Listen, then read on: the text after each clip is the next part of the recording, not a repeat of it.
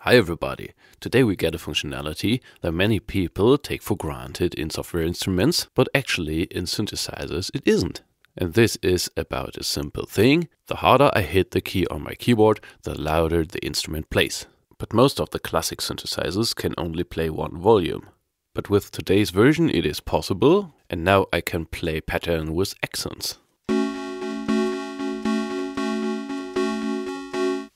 And this how hard did I hit the key is called velocity in synthesizers and in MIDI by the way. And here in the master settings we see a velocity modifier which is a bit like a compressor in the audio path. So for example, if I don't want to hit the key too hard, but sometimes I do, I can compress this with a ratio.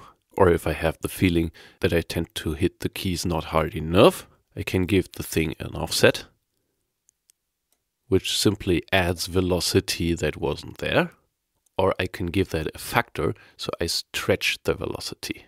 And if I do that too much, like this, you see the line ending up here at the top. So all these values would be maximum velocity. Let's just reset that. Now, what if we don't want this? What if we want the classic synthesizer thing? Well, we can simply turn down the factor to zero so we have no velocity. And with the offset, we now set up a fixed velocity.